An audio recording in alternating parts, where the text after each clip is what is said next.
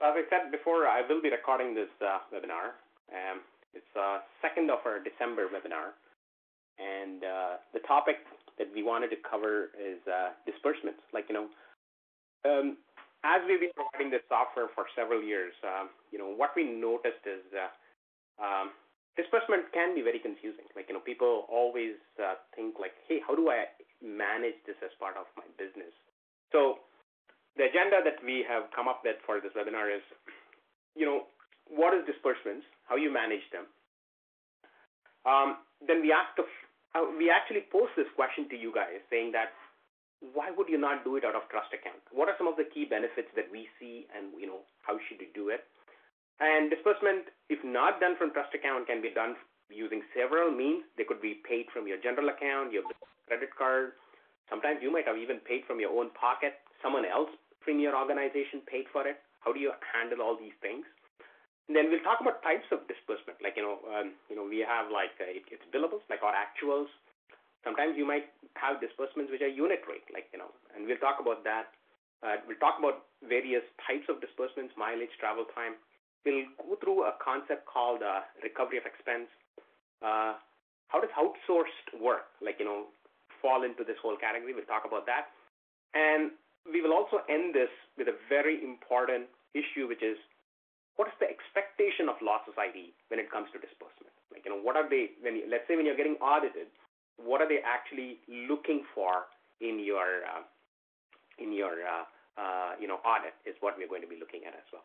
So let's go to the next um, you know subject, which is what is disbursement. Now, I picked this out straight from the dictionary. The definition of disbursement is it's an act of paying out or dispersing money for your client. So it's basically, even in the dictionary, they, they, they clearly say it's a legal term. Like, you know, normal people don't use this word. It's a legal term where a lawyer or some legal professional is paying out expenses on behalf of a client. So that's the definition. Let's look at it from layman's terms. In layman's terms, disbursement is nothing but expenses that you incur for your client you know, these are the expenses incurred, you know, for your client by your law office, right? Like, you know, your, your, your business has incurred these expenses and you need to recover them or you need to somehow pay for them using his money.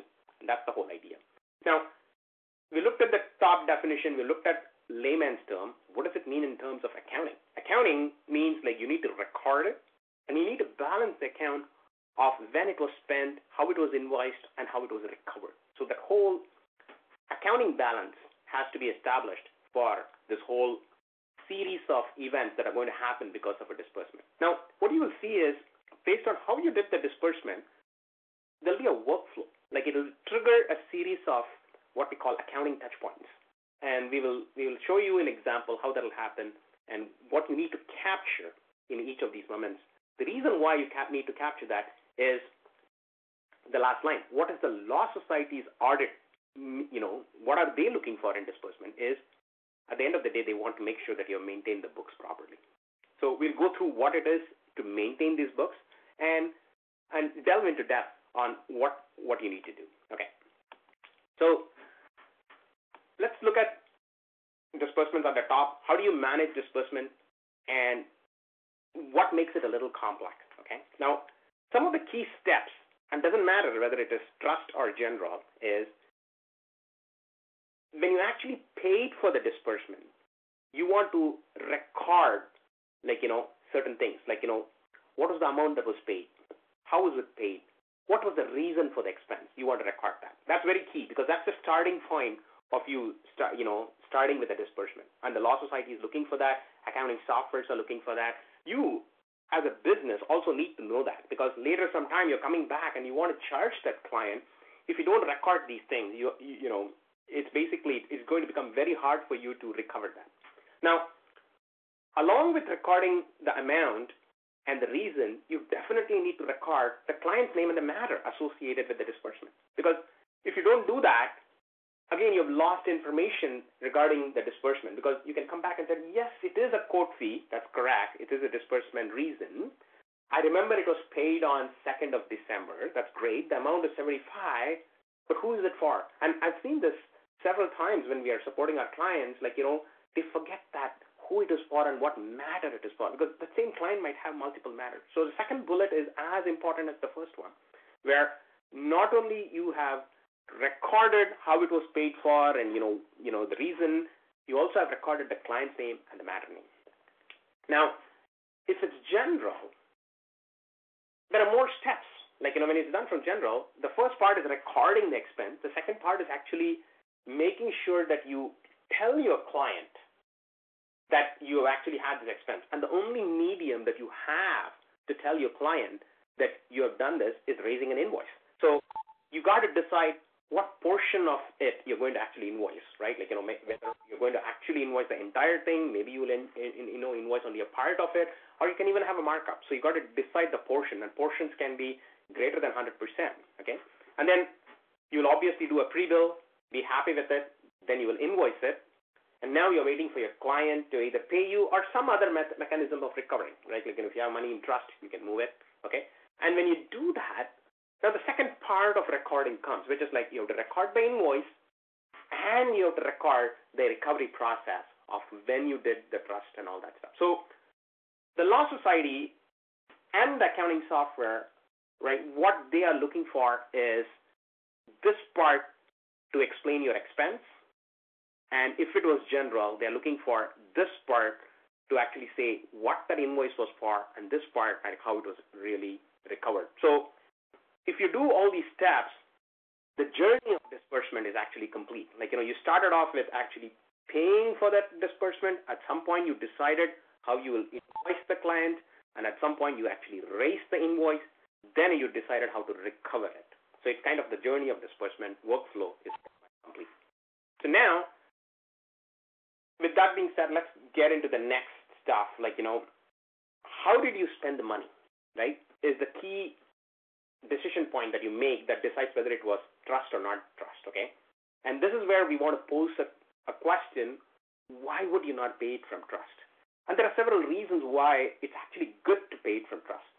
The fundamental reason why it's good to pay from trust is when you pay from trust, you actually keep it very simple.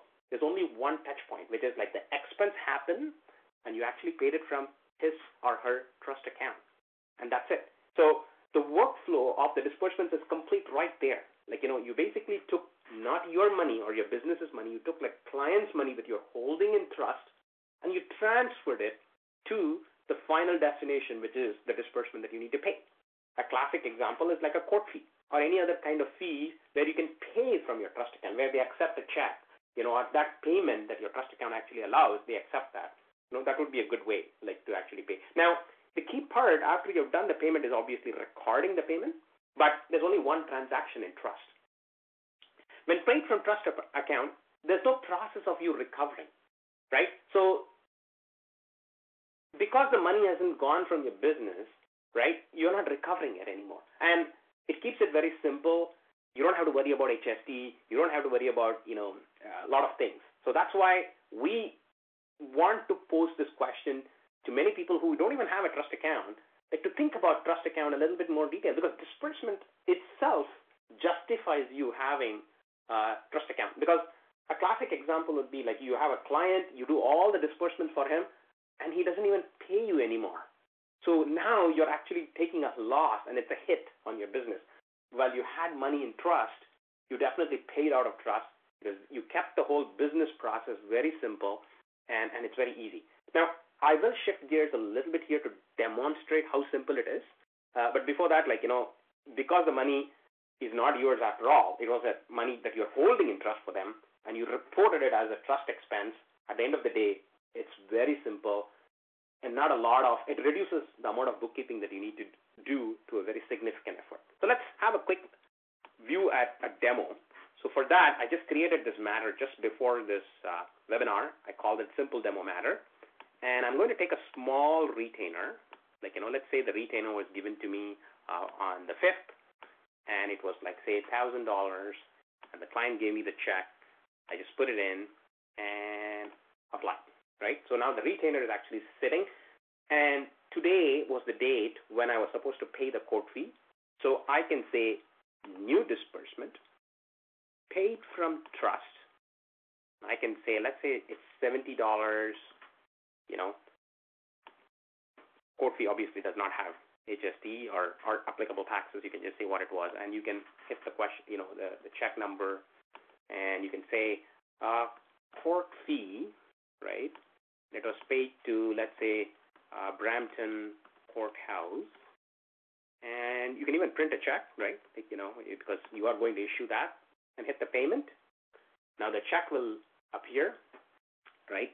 And you can even uh, uh, kind of put a description. You can say like, you know, uh, court fee for, you know, matter PF hyphen six seven six two four five. Some detail that you want to act, uh, appear on the check, and you print it. Here's your beautiful check that you can just run through your laser printer. Here it is, the amount, you know, everything is here, and it's all done. Now, the beauty of this handling it in trust is it's all over because there's nothing to recover. It's all money that left your trust account. It moved away. And now let's even look at it from accounting perspective. So, you know, when I actually hit the question mark and I actually look at an accounting, accounting ledger, you see on 5th of December, you got that check. On 9th of December, you issued a check, check number 78, to pay the $70 from court fee. And story ends there for disbursement. So that's why when I go back to the presentation and we look at why not pay straight from trust, it's purely keep it simple. Like it, it is like the best form of uh, uh, workflow process that you can keep it really simple if you have a trust account and you pay it from trust account. Now, there could be a million reasons why you didn't do it from trust account, right? But if you do it from trust account, it obviously simplifies your bookkeeping at the end of the day.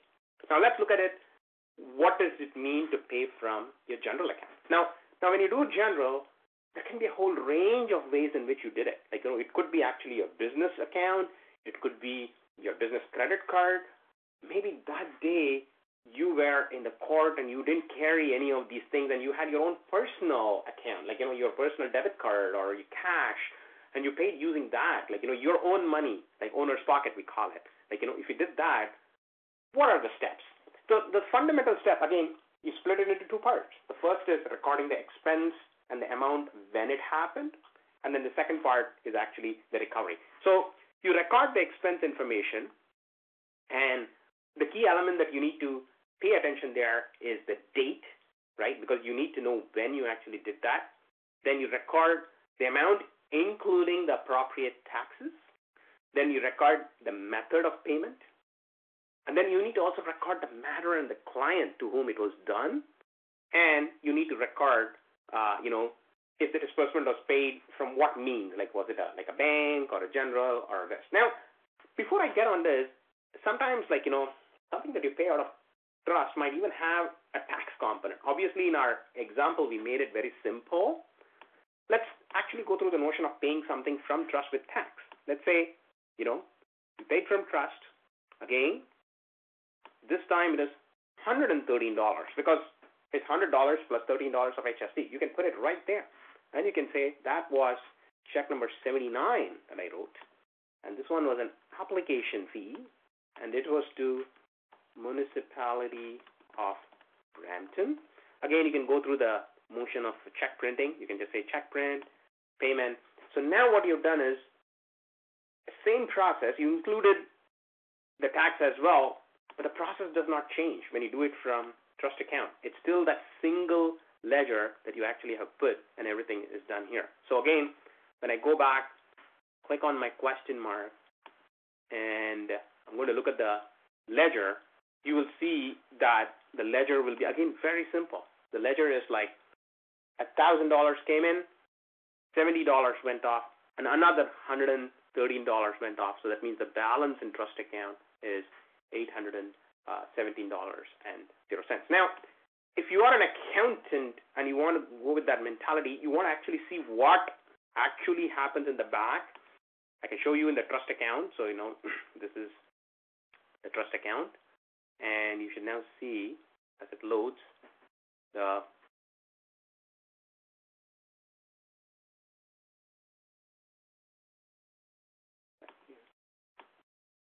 So I should see the thousand dollars would have been on 5th of December, and it was for right here. You see that, the $1,000. And then today, the ninth, we have two credits. One is for $70 and other is for uh, um, your uh, uh, application fee. Now, let's even break the ledgers and see how the ledger was actually applied. So if I actually click on the description, it'll show me that obviously because the $1,000 came to you, it was debited into your bank account. We also marked as a liability because it is you, you at the end of the day you owe the, that client $1,000 if you don't do the work. And then as you're spending the money, you'll see the opposite transaction. You basically credit out of your bank account and you debit out of your uh, uh, trust amount client to indicate what it is. Okay, and the same same thing for here as well. Okay, so it's very very simple. Only one transaction marks it, and you're pretty much complete with the process. Okay, now let's go for paying from general, and we'll go by a use case for each and every uh, aspect, and we'll put all three of them and see how the difference can be. So when you pay from the general, the way you would do that is obviously you need to know who the matter is and what the client is. So you choose that, and then you can say new disbursement. And I'm going to use a very simple example here. Paid from general. Uh, let's say it's a simple billable, like you know, for example, uh, let's say some assignment fee, right? Now, in general, when you record it, you need to split the HST component from the amount that was spent. So you would enter here the same, I'm going to use the same example, let's say $50. I'm going to enter quite a few, so you know I want to. So $50 and then 13% of HST. If it is exempted, you can exempt it, right? But in this case, we are not going to exempt it. You can give the description what it was, like you know, uh, what kind of assignment fee, right? If I can type today.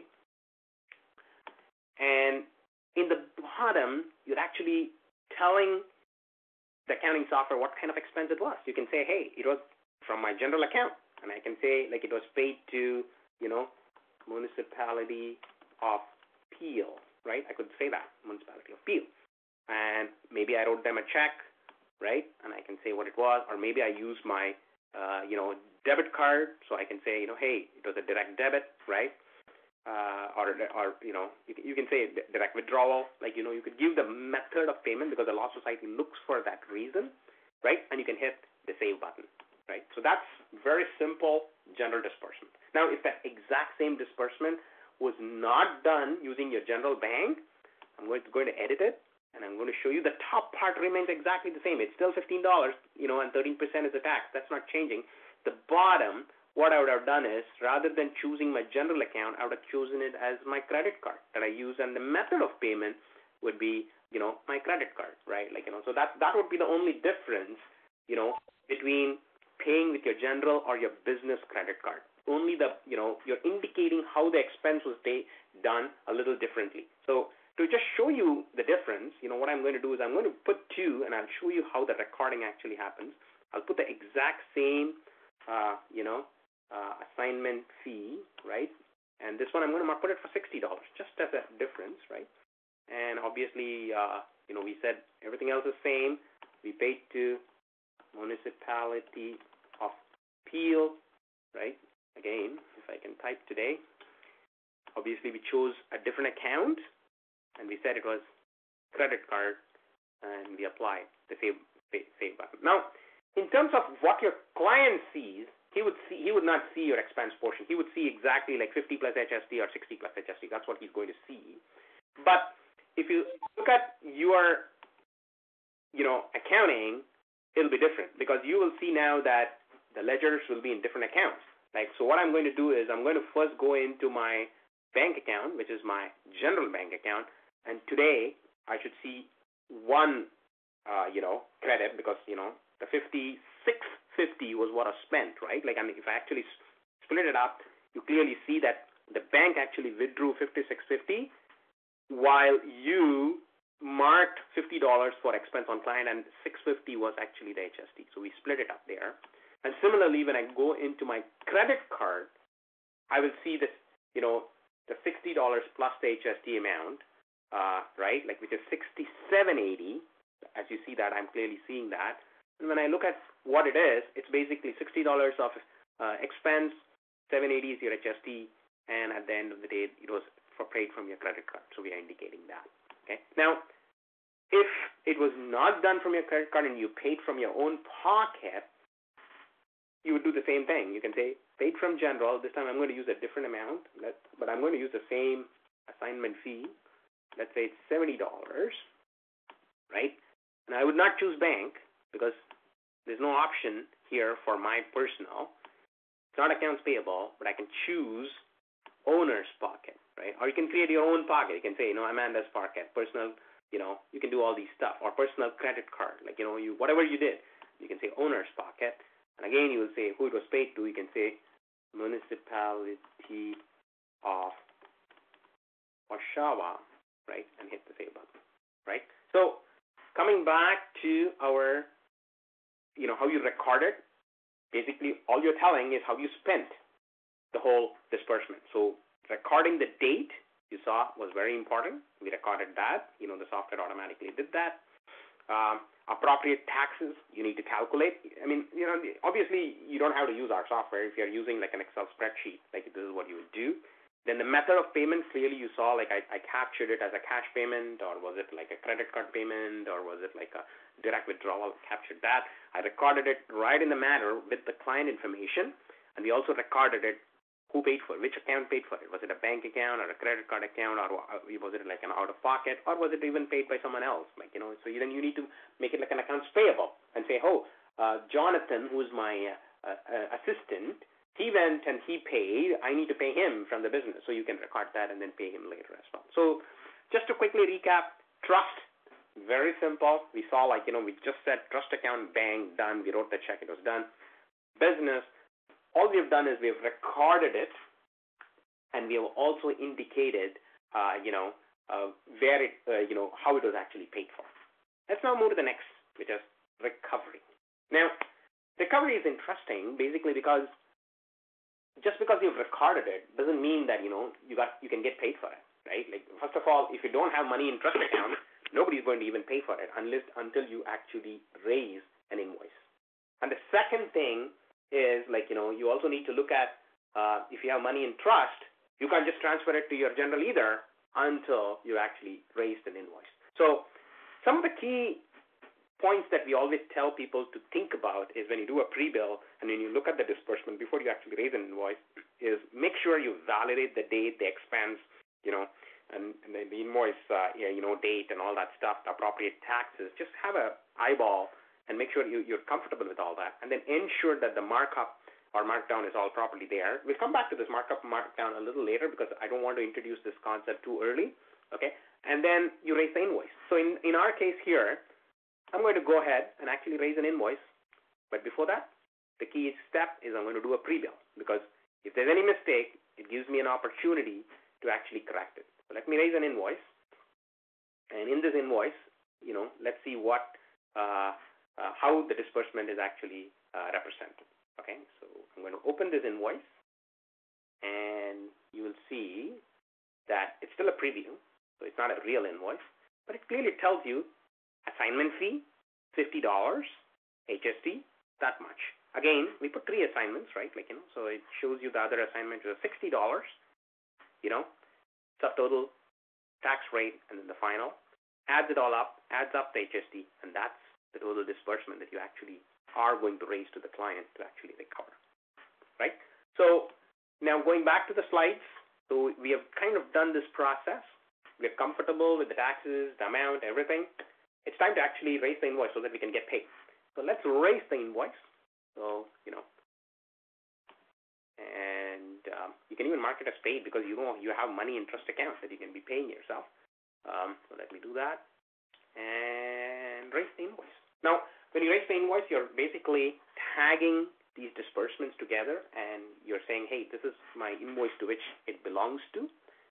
And when I actually now open this invoice, you should now see an invoice number, and you know it's not preview anymore; it's a final copy. So that's your invoice number, two four four zero. Everything is laid out. You even captured things that you actually did from your trust account. So you can say like, hey, thousand dollars in this billing cycle, I transferred seventy dollars you know, to pay this disbursement. 113 was actually transferred to pay this disbursement. That's the balance in trust to, you know, before I did the transfer. And after I do this transfer, $613.60 is what is going to be left. So you kind of told your client very clearly he has to do nothing, everything is paid. That's the balance in trust. Now, if I go back to the slide, the next step is getting paid. Now, getting paid can be in several ways. Like, you know, you can either transfer it from trust because if I now go back to the software and hit the question mark, it'll clearly tell me that the client the client owes you two hundred and three dollars and forty cents and you can recover it from trust. And that's the best thing to do because like you know the money is sitting in trust account, you already got that on the retainer and you can you can basically transfer it. Or maybe the client can say, Hey, you know what, the thousand dollars I gave you is not for this, hold it. I'm going to send you a check for this because I saw this invoice and he can do that too and then you can put that directly into your general and pay yourself. So the medium of how you're going to do the transfer is a secondary question. The first step that you need to understand is till you raised your invoice, you cannot even think about recovery. So in the general, are, the workflow of disbursement actually has three parts. One is actually the first part that we saw where we put the disbursement, the second part where we raise the invoice, and now the third part, you know, where we're going to pay, uh, you know, um, uh, you know, pay, transfer the money. Now, when I hit the transfer button, right? This is where it can be very interesting. So if you remember, the first two, right, were actually paid by my business. They were paid, one was paid from my business credit card, another one was paid directly from my general. I can transfer that portion of the money to my business account, right? I mean, there's nothing stopping you from transferring the entire $203.40 to your business account. But the point I want to raise is that the last one, the $70, was not actually a business. So you, you can choose not to transfer. You can say, hey, I'm only transferring $124.30 from trust account into my uh, business account, and that check number is, uh, you know, 115.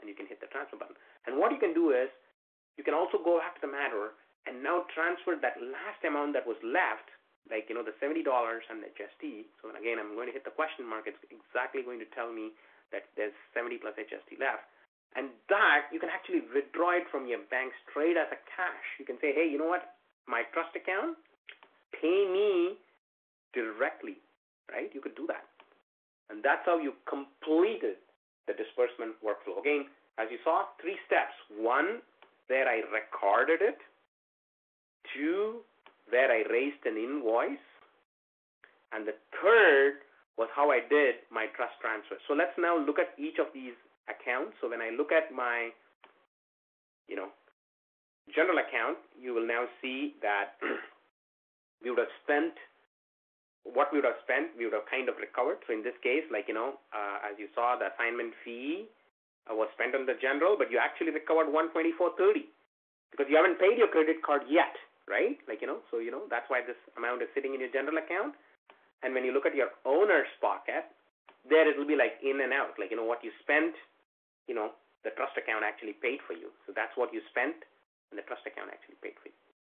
Okay. If you didn't do it this way, you actually moved it to your general account, then you need to do another process of taking that money from the general account and moving it to uh, like at some point, like you'll walk in and rather than withdrawing the money from trust account as a cash, you will actually withdraw it from general account as a cash and pay yourself. Because at the end of the day, everything has to match, right? Like you know what got spent needs to be matched. You know the credit needs to be matched with the debit. So that kind of explains the recovery process for general. So which never existed for trust account. So in trust account we never did a recovery. In general, because we kind of did that, like, you know, we have to do a recovery. Now, this is where we want to, you know, introduce concepts of types of disbursements. The reason why this is important is because recovery now has implications. Now, in the in the use case that I demonstrated now, the recovery was very plain and simple. The recovery was plain and simple because I spent seven $79.10, I recovered $79.10. So it was like very plain and simple. But disbursements can even be more complex than that. We already talked about billable, which can happen in both trust and general, because like, you know, what you paid is what, you know, you paid straight out of trust or you paid, you know, out of general. Let's talk about the second one, which is unit rate. And why it is only general? The reason why it is only general is because the amount that you know that you are actually incurring in unit rate is not a concrete dollar amount that you're spending from trust. For example, let's say you're charging your client for fax or postage, right? You might have spent only 50, you know, 50 cents on the stamp. You can charge the client a dollar because that's your rate. Your your business rate for stamp is one dollar. Okay. Now you can immediately question me, hey, I spent only 50 cents. Why am I charging a dollar? Because the client is getting, you know, um, a service here. Like he didn't go to the post office and buy the stamp and you know carrot and stick it. You did the work for him. So that's basically the service fee that you're actually charging.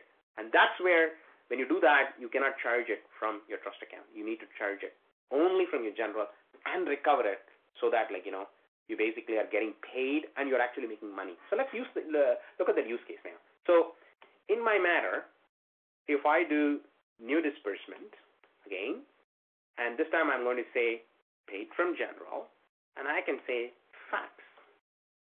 When you say fax, you don't enter the amount anymore. You basically enter the quantity. You can say, hey, I'm charging you for 20 fax at 75 uh, cents a fax and that's my HST. And you can uncheck this and say, hey, I did this fax from my office. Why why am I you know uh, going to uh, enter an expense? And you can hit the save button. Let's look at stamps, for example. You know, stamp, stamps are generally about. Uh, uh, I'm going to use a easy number here. Let's say uh, a stamp is about 50 cents. I know it's not 50, but like you know, I'm just going to use that as an example. So you went to Costco or Canada Post or wherever you went and you bought stamps. So you can say action, expense, office expense, and let's say uh, you know it was office supplies, and you can say I paid, I bought 10 stamps, so it was five dollars, right? Like you know, immediately the software will calculate, you know, uh, oh uh, sorry, other way, I paid five dollars, and then the software calculates with HST how much it is, and you can see how you paid for it. Let's say you paid it using your credit card, just paid to, uh, you know, let's say uh, Staples, right? And you used your credit card, and you can hit this up. So this is basically recording the expense for the item that you purchased, right? Now, not all stamps is going to go to Philip Fillmore, right? He's only going to use one stamp or two stamps. So you can say new disbursement paid from general, and you can say postage, right? Again, it's a unit. Actually, you're charging him a dollar twenty-five. Or you know, for this purpose, let me make it a dollar, so it's easier. We bought it for fifty cents, and you're telling, let's say you consume four of that, right? And that's the HST. Okay, you don't have to put any expense here again because the expense is already marked there. You can hit the save button right? Now, if you used all the 10 stamps, you need not have done the first step that I did. You could have done the whole thing here. You could have done it that way, but this is just an example. Now, again, this is general, general disbursement. So that means the procedure to recover is going to remain exactly the same. You're going to say, you're going to raise the invoice, right? And then once you raise the invoice, you're going to do a trust transfer, right? And that will basically kind of show you how you know, the money was spent and how, how the money was actually received. So here, in this case, disbursements, see, now it's like units. You can see amount was like 20 units or like 4 units. The rate is here. That's the total amount, HST, and it adds up and it tells you how much it is. Now, when I go back here to the matter and I hit the question mark, obviously it will allow me now to recover that. I can say, hey, I'm going to pay myself $21.47 and obviously you cannot transfer what you already transferred. Those are all like, you know, already transferred. You can't transfer them. You can only transfer the new ones. Let me go up and transfer the postage and the fax. I can do it from my trust account to my general account and I can write myself, uh, you know, the check, right? And I'm done. So that's unit rate. Let's look at other ones mileage, travel time. Uh, these are again very similar to unit rate, no difference. You can just say paid from general, and you can say mileage. like say, you know, lawyer travel mileage, assistant travel mileage, legal counsel travel mileage, paralegal tra- counsel mileage. It's all like you know, you just indicate that, and then you say how much is your kilometers, you know, what's the rate. You can put your gas expense here, or you can you could have put it the other way I told you, like whatever suits you, and you can hit the save button. So to to us, like you know, um, mileage, unit rate, travel time, you're capturing them as different entities, but at the end of the day, it's the same way. You record them as a unit, send it to your client, the client will pay for it, and you recover it. Okay? Let's talk about, you know, difference between actuals and margins in recovery of expense. Okay? So billable is a pure recovery expense where it was an actual. So you basically paid $100 as court fee and you recovered it as $100 as court fee. If there's a margin because there's a service, right, then you need to enter that. You can say new disbursement it's recorded as a miscellaneous expense. Let's say some fee. Uh, let's say it was some uh, completion fee, right? Like you know, completion fee. The the the person, like you know, the municipality charged you hundred dollars, but guess what? You don't want to, uh, you know, um, um, you know, charge the client the entire hundred dollars, right? Because there was like, you know, there was some tip that you gave to the person who actually spent that. So you can say hundred dollars, and I actually tipped one of my, you know, uh, assistant five dollars for doing this activity. I don't want to charge that to the client, so you actually now incurred more expense and you're charging your client less. So that's a good example, you know, of actual. Uh, it's not actuals, but it like you know, it's like it's like an undercut, right? Now let's do, uh, you know, um, a margin, right? Like where you're making money. So let's say you purchase some software, DivorceMate or something like that, right? Like you know, you can say uh, DivorceMate expense, right? Now, DivorceMate might have given you some discount, right? Like you know, you bought you bought five licenses, right? And they gave you a discount of say 20%.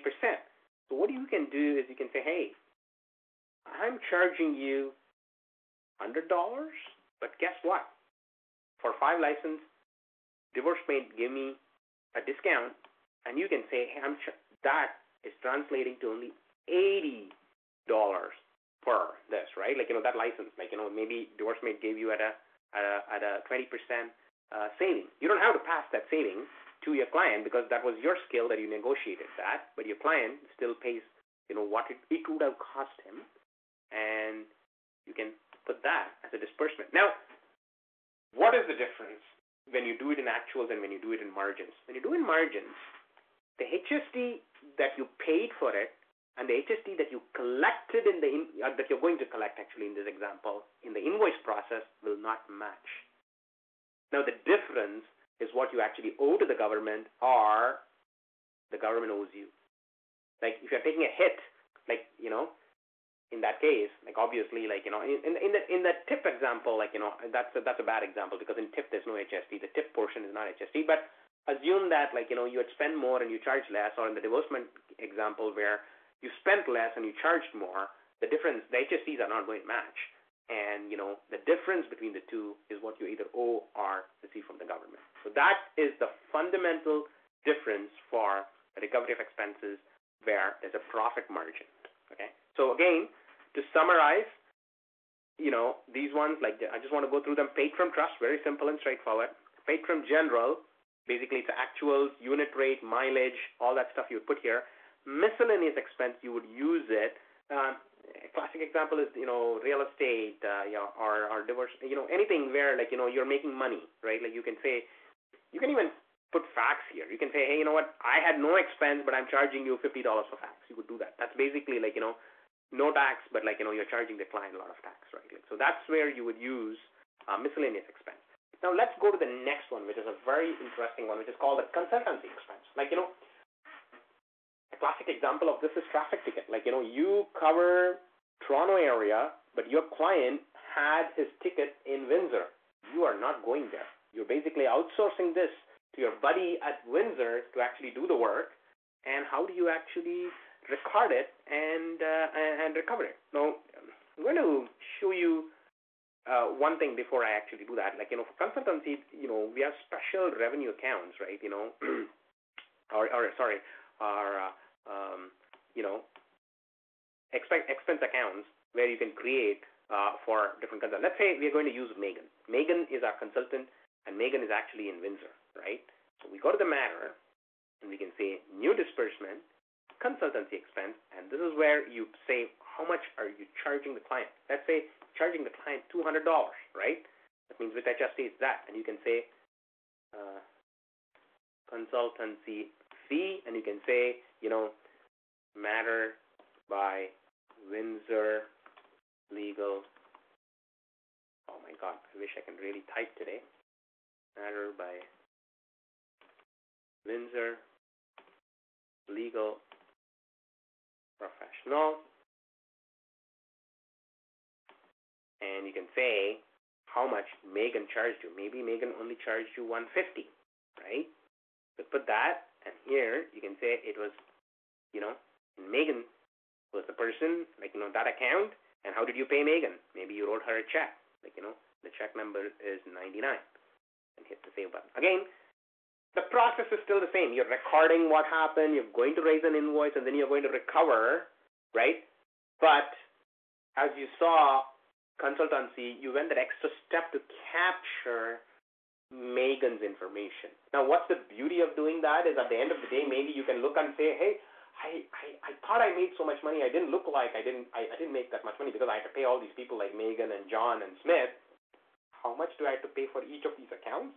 If you kind of mark them, you can kind of look at that. And I'll, I'll show that to you as an example. So let's quickly raise an invoice, right? And now it's time for us to bundle the whole thing, right? Like, you know, all our miscellaneous expense markups, everything, like, you know, they're all bundled into this single invoice and let's recover it all. And then I'll show you quickly the HST perspective and then we can come back to, uh, you know, that's your travel mileage. That's how it should be reported. That's your completion fee, DivorceMate expenses, like, you know, or your consultancy fee. Like, this is, all the, this is what the client sees.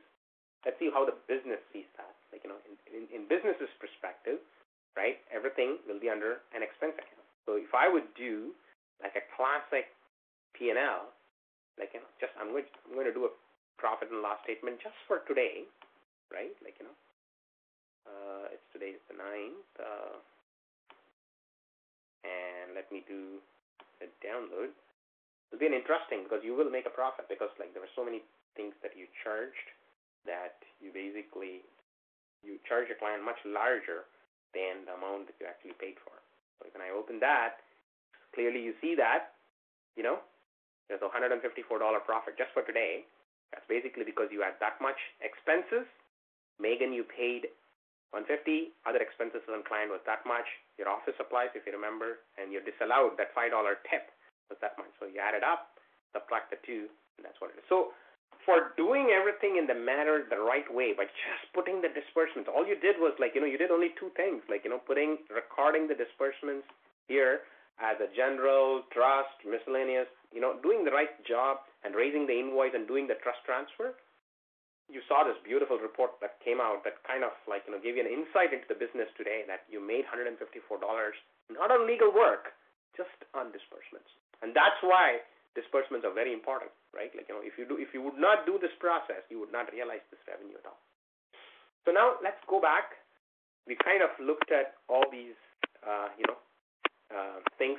What is the law society's expectations, know, out of this? Like, you know, so during an audit, you know, there are going to be two disbursement ledgers that the law society is going to look at for you. One is obviously your uh, client disbursement uh, from trust, and your client disbursement from general. So I'm going to very quickly show that to you how they're going to look like. And our ledgers are very similar to the Law Society's ledgers.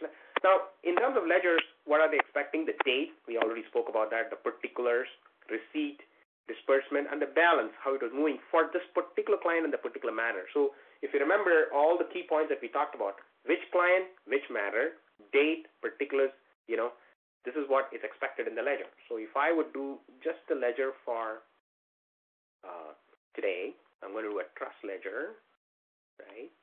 And uh, let me just, actually, I can just do, the, you know, just download it. And you should see for Phil, Fillmore, we should have, you know, all the stuff that we did, like, you know, so in this case, so that's John Kent, maybe uh, Phil Fillmore. $1,000 was received on the 5th.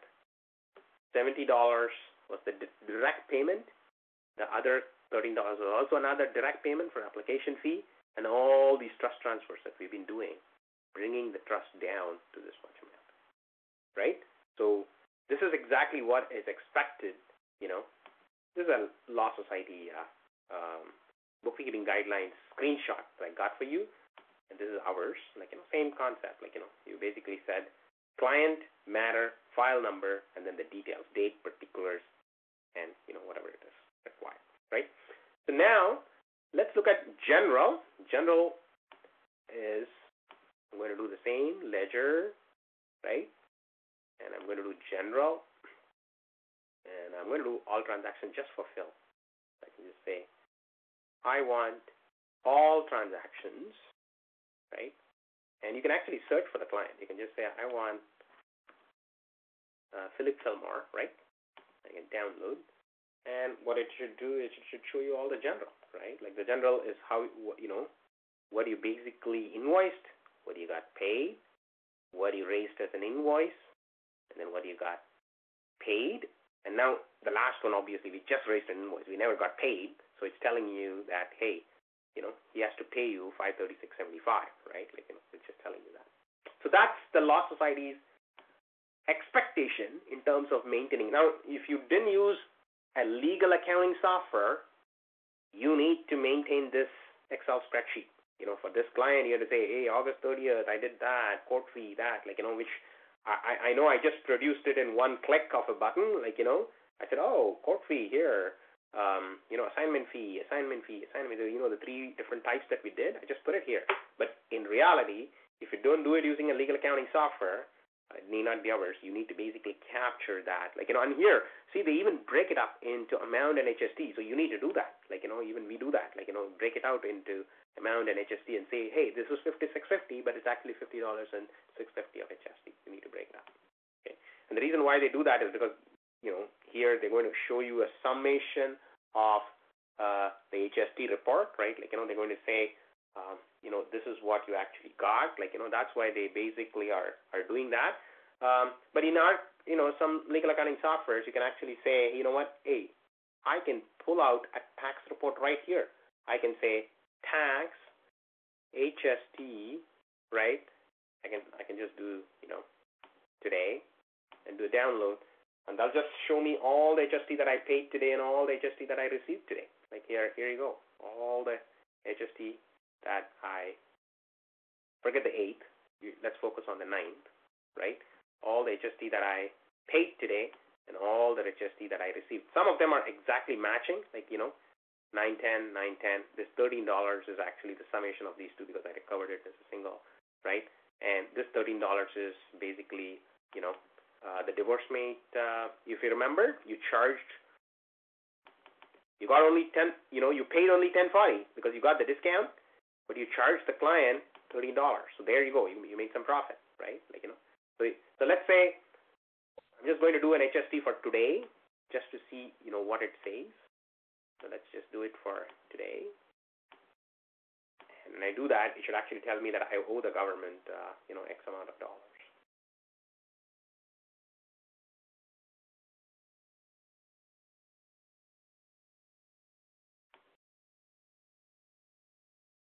In this case, I actually owe the government $20.67 for the profit that I made of $154. Okay, let's go back to the disbursements.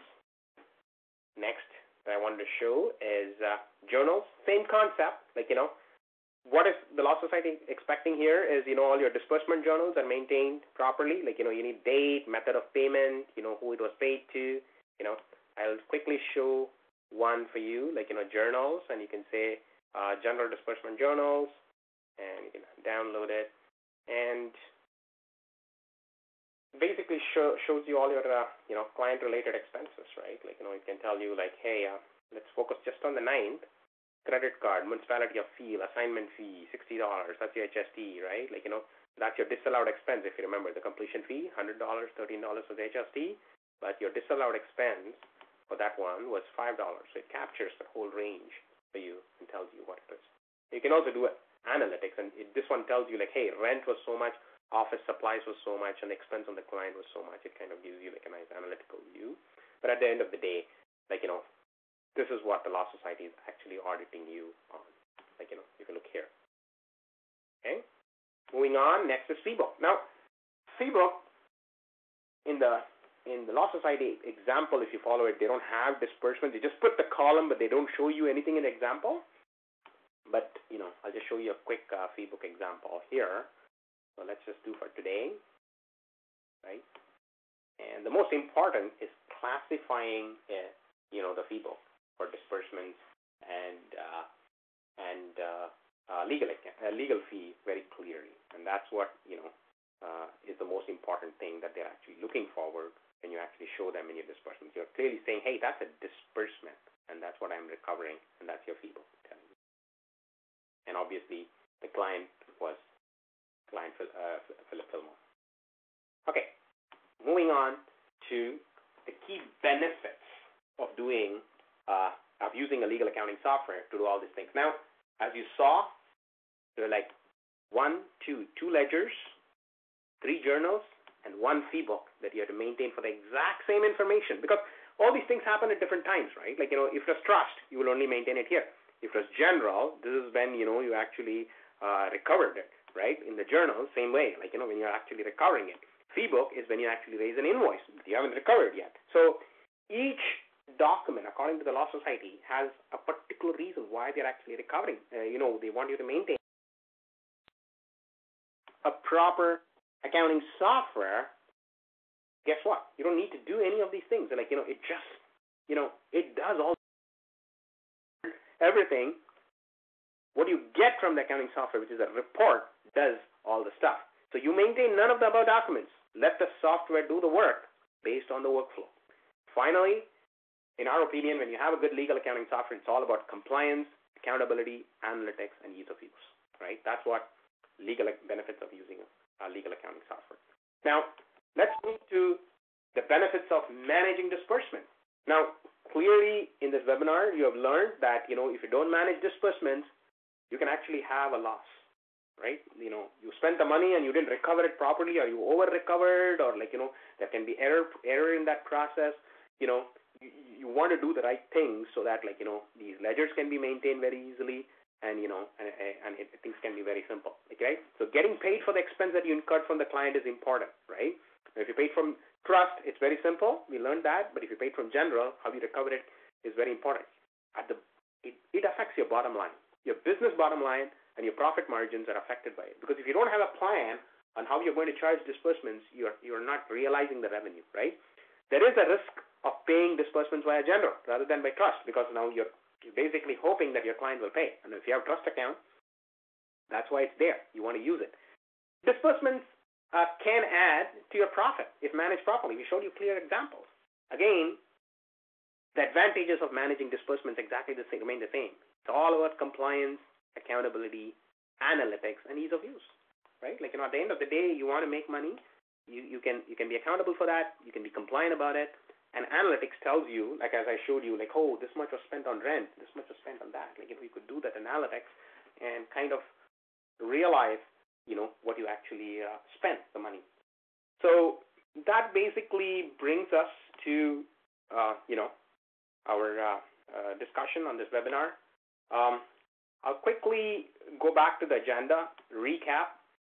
We learned about disbursements we kind of gave you key benefits of actually paying it from trust account. We talked about how to pay for different kinds of disbursements, like, you know, it can be general account, business credit card, you know, or owner's pocket. Like, you know, we, we discussed that in great detail. We talked about several kinds of disbursements, billables or actuals, like, you know, how you put them, a general disbursement specifically, unit rate, mileage, travel time. Uh, we talked about recovery of expense, which is like, you know, where you spent X and you but you actually reported to your client like you know that you're charging him Y and you recovered it. And then we also talked about outsourced work, like you know how that is also clubbed under disbursements. And then finally, uh, we talked in great detail about the Law Society's uh, expectation uh, on uh, disbursement, how you manage the ledgers, journals, and the fee book. Okay, so that's kind of summarizes our uh, chapter on disbursements. Let me open, uh, you know, the chat lines for questions. So feel free to ask any questions, and uh, you know, I'll be more than happy to answer. Uh, we have about five minutes um, to uh, to answer the questions. Uh, I, we will be putting this entire recording on YouTube, so you can watch it later as well if you have any further questions. But at the end of the day, like it's all about like you know recovering the money for what you paid, and if possible, the right amount of profit as well. So I'll wait. Uh, at this point, I'll I'll go quiet and wait for some questions.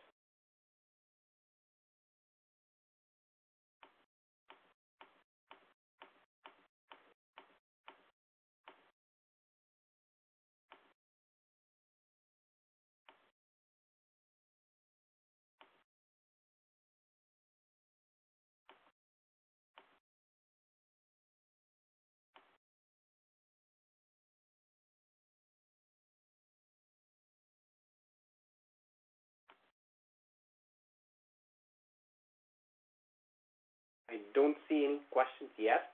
Um, by my memory, I can go through some of the questions that I generally get asked in support. You know, is uh, you know, should I? No, you you should not confuse fee with disbursement. Right? You should never confuse fee with disbursement. Like you know, because uh, if you confuse fee with disbursements, the problem is like you know, you kind of uh, are not making the money for the work that you're actually doing. So it's very key that you don't confuse uh, fee with disbursements. Um, now, fee in ULaw is very different. Like, you know, let me go into this exact, uh, um, you know, Philip Fillmore matter. All your fees would not be under the disbursement and retainer tab. They would be under the matter events, right? Like, and you can actually do fees in several ways, right? Like, you could actually do it as a contingency, a pre-tax, a billable, a flat rate, a pro bono. You can do all that, you know, interesting stuff for the fee. This one was specifically about this. Uh, where should I remit taxes to CRA, general or a trust? Or, oh, you should never remit taxes from trust, right? Because that's your business expense, right? Like it's your business. So remitting of taxes never happens from trust account. It always happens from your general account. Now, the interesting thing is in terms of disbursement, right? If you're only if if you make a policy that you're only charging actuals, right? You're not charging for all that other stuff, like you know, um, then uh, you know, basically like you know, HST is very simple, right? You just go here and say action, and you know what I would do is like click on the action. I can say transfer and then tax remittance, and you can you, you, taxes are generally paid in either quarterly or yearly, so you can if you had done a proper HST report for the quarter, you can say how much you collected. Let's say it was like, I'm just going to put like some 200. How much you paid. Uh, let's say, you know, you obviously pay much low. Let's say you pay, you know, 100. The software will say, you know, the tax owed is 100. But in the opposite, you know, early part of your business, maybe you paid $300 of HST. It'll say, hey, tax refund of $100. So this you will enter when you get the money, right? The other one you will actually enter when you're going to pay the money. This is where you will raise a check for $100, right? So that's how you would actually pay. Now, somebody asked a quick question. Is this one hour of, uh, of uh, substantiated uh, hours? Unfortunately, uh, no. At this point, no. We've applied because like we believe this content is very important for legal professionals. Not many people understand the disbursements the way we want them to understand. We've applied for it. We've not got it. I don't think we will uh, get it in this year. Uh, hopefully next year, like you know, we will get it. Uh, even if we get it, I think it will go into professional. It will not go into substantiative, I believe. But at this point, like you know, obviously we don't have CPD to offer for this one. But even though it's not CPD, we really believe this is very, very, very useful information that you have learned today. Uh, hopefully, you know, the Law Society will look at our presentation, which we are going to put on YouTube, and uh, and uh, probably, uh, you know, uh, take it from there. Now, somebody said my sound was off. I really wish you had told me before. Uh, sorry, we will put this on YouTube.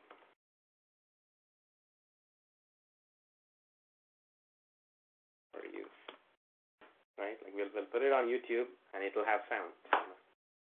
So with that, I think uh, you know you guys have a wonderful uh, weekend. I'm going to stop recording and uh, you know see you uh, you know for our third webinar